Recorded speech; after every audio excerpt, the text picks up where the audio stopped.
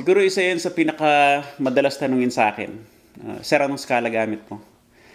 Um, na para bang meron akong alam na secret scale na nagwo-work sa lahat ng uh, klaseng tugtog na at kaya ako ganito maggitara. Pero ang totoo nun eh, konti lang naman yung scale eh. Kasi kung tutuusin, labindalawa lang naman yung notes na paglalaroan natin. Tapos yung mga tinatawag nilang skala, eh, iba't ibang kombinasyon na lang nung labing dalawang notes na yon. Minsan ginagamit lahat, minsan may mga tinatanggal, minsan gagamitin pito lang, minsan gagamitin anim or lima or or tatlo. So nagkakatalo yun sa paggamit ng notes. At sa gitara, nagkakatalo yun sa fingering. Kung paano mo i-organize yung mga notes na yon, um, para madali siyang mahanap sa fretboard at para matulungan kang um, mailabas yung mga tunog na gusto mong tugtugin. So ito yung tinatawag na chromatic scale. Basically, tatamaan mo lahat ng frets along the string hanggang sa umabot ka sa pinakamataas na fret.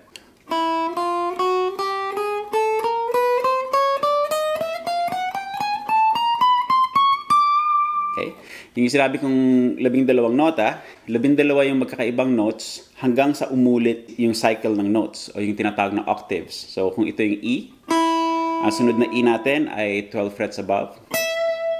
At mula dito sa open string at dito sa high E na ito, labing dalawa yung notes na nasa gitna. 6, 7, 8, 10, 11, 12, tapos ulit na. Ngayon, paglalaktawan natin yung ibang notes, makukuha natin yung iba't ibang uh, klase ng scale. Uh, ang diatonic scale ay may pitong notes. So, ito yung tinatawag na diatonic major scale. Okay?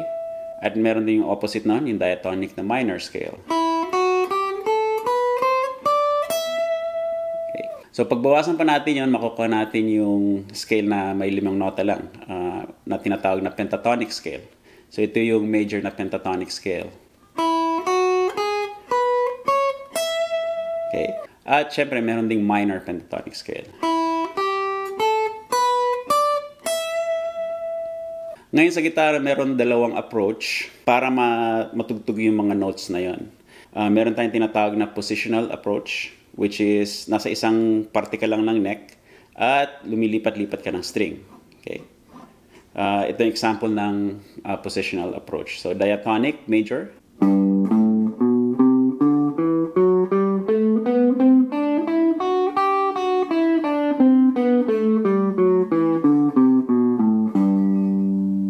Or positional na pentatonic scale.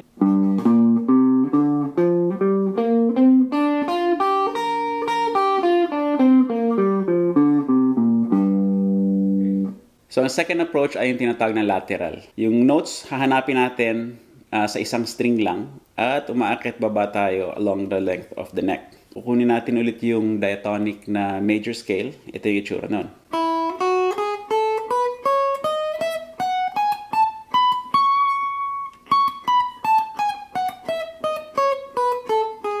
Okay. So, isa sa strengths ng gitara, yung uh, pagiging visual niya. Um, ito yung dahilan kung bakit maraming uh, magagaling tumugtog pero hindi sila necessarily aral sa musika. Ito yung ibig ko sabihin. Gagamitin ko lang itong dalawang daliri ito. Okay? Index finger and ring finger. At kukuha ako ng shape.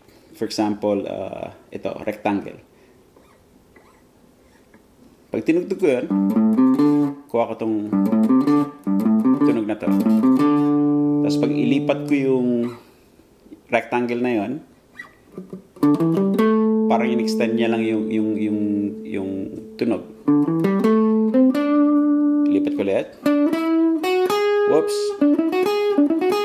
So pagdating dito sa dalawang strings to, uh, hindi na siya hindi siya tugma. So hanapin ko yung uh, ibang frets na mas babagay siya.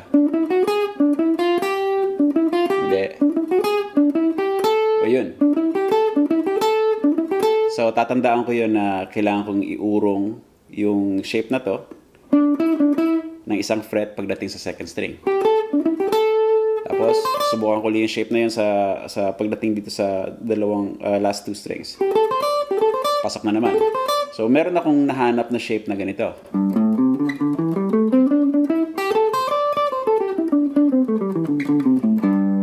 Okay. So, yung shape na to, isang, isa siyang scale. Uh, so, tunog pentatonic siya. Pero yung sa paghanap ko na yon isang valid na paraan ng pag-aaral ng gitara yon. Uh, ah, hindi mo siya hinango galing sa isang libro. Malamang ganito yung uh, learning process ng mga gitarista ng araw. Wala pang YouTube, wala pang internet, wala pang mga guitar instructional videos. So, ilalagay mo lang yung mga daliri mo sa strings at hanapin mo kung ano yung magandang tunog. So, as demonstrated by that approach, maaari ka makahanap ng mga sarili mong patterns at shapes na magagamit mo sa sarili mong playing. Doon lalabas yung individuality mo, yung, yung, yung sarili mong identity. Dahil uh, personal yung pagkakaintindi mo on, on how the fretboard works. And that is not to say na it's any less valid than uh, learning scales off of a book or off of a guitar instructional video or from a school. Kung maganda yung tunog, di tama siya.